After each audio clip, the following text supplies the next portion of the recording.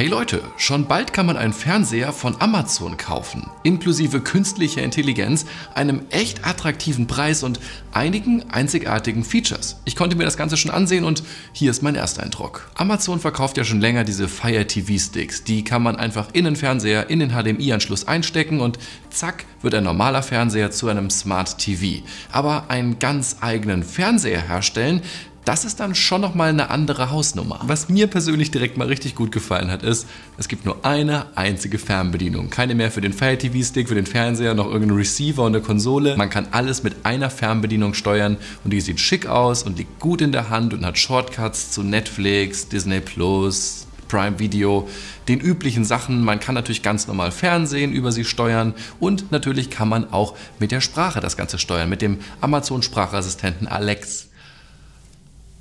Ah. Außerdem war die Performance von dieser Software auf einem richtig hohen Level und das ist auch etwas, was wir im Jahr 2023 nicht über alle smarten Fernseher sagen können. Die meisten ruckeln und laden irgendwie lang. Hier lief alles super, super schnell. Auch nicht perfekt, auch nicht ganz auf dem Niveau von einem Smartphone, aber sehr nah dran. Und das hat mir persönlich einfach Spaß gemacht zu sehen, wie ich hier wie wild durchklicken konnte und trotzdem hat alles direkt geladen. Das war auch sehr angenehm. Die Software allgemein war sehr schlicht, sehr aufgeräumt, erinnert natürlich an die Fire TV Sticks und man kann darauf alle üblichen Amazon-Sachen streamen, aber eben auch Apple TV Plus, Wow oder Prime Video, Netflix. Man hat einen ganzen App Store und kann sich alles runterladen. Und das ist auch auf allen drei erhältlichen Modellen, die Amazon vorgestellt hat, soweit identisch. Und das finde ich super. Das ist einmal die budgetorientierte 2-Serie. Die startet schon bei 280 Euro mit 32 Zoll und einer HD-Auflösung oder mit 40 Zoll und einer Full HD Auflösung.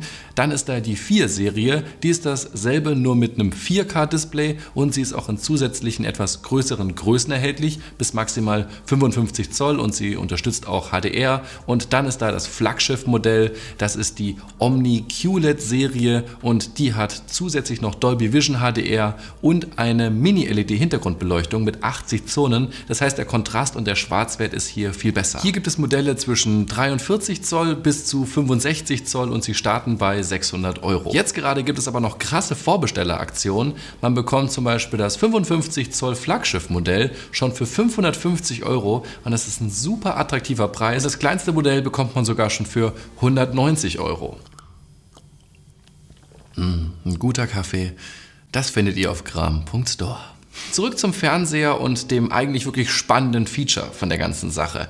Amazon hat ganz richtig erkannt, dass ein Fernseher zwar 24 Stunden in eurer Wohnung steht und da auch viel Platz einnimmt, aber er ist nicht 24 Stunden nützlich. Und das wollen sie ändern. Und zwar kann man diesen Fernseher jederzeit mit der Stimme ansprechen. Er hört einfach immer zu, natürlich mit Amazons Sprachassistenten. Man kann smarte Lichter in der Wohnung steuern, aber eben auch sagen, hey, zeig mir das Wetter an, dann geht das Display an und zeigt genauere Wetterinfos. Oder man kann sich Urlaubsfotos angucken, direkt auf dem Fernseher. Oder ich setze mich aufs Sofa und sage, hey, starte die Serie, der Fernseher geht an, er startet direkt die Serie. Das fand ich schon mal ziemlich cool. Aber sie gehen noch einen Schritt weiter. Es gibt auch einen Modus, wo man so eine Art ambientes Display hat. Das ist dann immer an und zeigt nützliche Informationen zum Wetter, Notizen, irgendwelche Widgets. Es wird einfach immer irgendwas angezeigt und dadurch soll der Fernseher durchgängig hilfreiche Infos anzeigen. Und man kann natürlich auch mit der Stimme dann Musik steuern und starten und das stelle ich mir eigentlich ganz cool vor, weil so ein Fernseher klingt natürlich deutlich besser als so ein Echo Dot oder Echo Lautsprecher und auch besser als ein Echo Show. Wobei der Fernseher so gesehen auch einfach ein sehr großer Echo Show ist. Darüber hinaus ist Amazon sehr stolz darauf, dass sie eine riesige Kunstsammlung haben und sie haben sogar ein intelligentes, adaptives Kunstwerk Netzwerk, das sich je nach Zeit und Wetter und anderen Parametern die ganze Zeit laufend anpasst und so nie bei irgendjemandem gleich aussieht. Doch es gibt noch eine weitere Sache. Dieser Fernseher hat künstliche Intelligenz an Bord und das Ganze funktioniert so. Man sagt, was man sehen möchte und dann generiert die künstliche Intelligenz genau das auf einem Bild und das kann man dann als Bildschirmschoner nehmen. Und das hat erstaunlich gut funktioniert. Uns wurde der Sonnenuntergang über dem Brandenburger Tor gezeigt oder eine Burg auf dem Mars und das Ganze funktioniert wahrscheinlich über Dolly von OpenAI, aber offiziell wollte das von Amazon keiner sagen. Und was mir daran einfach sehr gut gefallen hat, ist, dass das wirklich jeder benutzen kann. Man muss nicht viel Ahnung von Technik haben. Man spricht da einfach rein, das Bild wird generiert und fertig. Man muss überhaupt keine Ahnung von irgendwie künstlicher Intelligenz und den Programmen haben. Es ist einfach im Fernseher eingebaut und Das war ich schon ganz cool, auch wenn es natürlich am Ende des Tages irgendwo eine Spielerei ist. Warum ich diesen Fernseher spannend finde, obwohl er jetzt nicht auf OLED setzt und 8K und Roll und faltbar ist, ist, weil es seit 2014 smarte Fernseher gibt, aber so richtig smart sind die bis heute nicht. Und jetzt, wo bei Amazon Hardware und Software aus einer Hand kommt, hat man wirklich das Gefühl, dass es schön miteinander harmoniert und der Fernseher mehr ist als nur ein Bildschirm.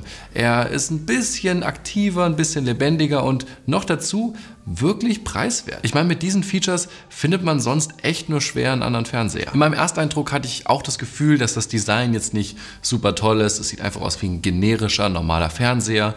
Und auch die Bildqualität schien gut zu sein, aber sie war jetzt nicht sensationell oder außergewöhnlich. Ich glaube, da liegt einfach nicht der Fokus drauf. Der Fokus liegt darauf, dass dieser Fernseher hingestellt wird und er funktioniert einfach. Und man hat diese Fernbedienung, man kann mit ihm sprechen super easy und man muss keine Niere verkaufen, um ihn sich zu holen. Und deswegen glaube ich, wird das der Fernseher werden, den ich Freunden und Familie empfehle, die einfach nur einen Fernseher wollen, der funktioniert und einfach ist. Und deswegen hat Amazon auch gesagt, dass dieser Fernseher zertifiziert für Menschen und so albern das klingt. Ich verstehe schon, was sie meinen. Was haltet ihr von den neuen Amazon Fernsehern? Schreibt mir das mal unten in die Kommentare und macht's gut bis zum nächsten Mal. Ciao.